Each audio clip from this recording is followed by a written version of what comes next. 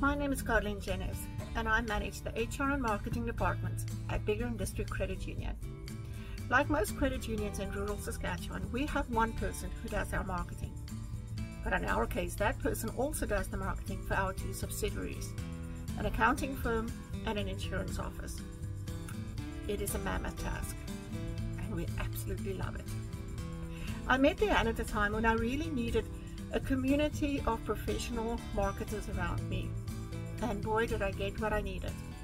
The art of masterminding suits me to a T. The process makes sense if you are someone who likes to brainstorm ideas, ask questions, get, on, get information, and then build a toolbox full to the rim with things that work and things that still need work. I decided to join a second time because I still have so much to learn from my fellow masterminders.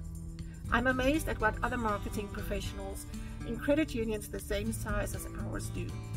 They inspire me to do better for our members, and they keep me on track while keeping our goals in mind all the time.